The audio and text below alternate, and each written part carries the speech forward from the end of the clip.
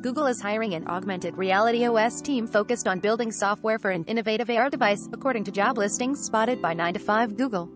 The team is led by Mark Lucovsky, who announced he'd joined the company this week.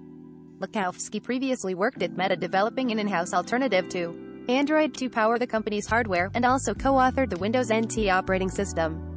According to Google's job listings, the augmented reality OS team is building the software components that control and manage the hardware on its augmented reality AR products. This is far from Google's first stab at developing AR software, and follows the company's work on AR Core for Android and Tango.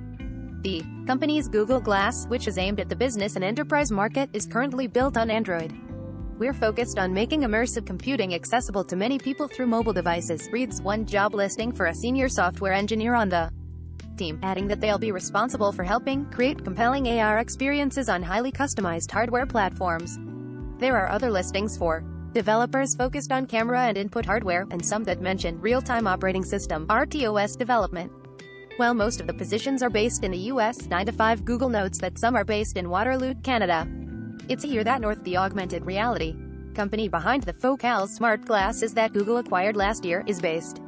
Between that acquisition and these open job positions, it looks like Google is increasingly serious about developing and releasing more AR hardware.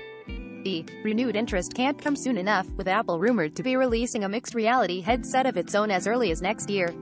Recommended. Recommended by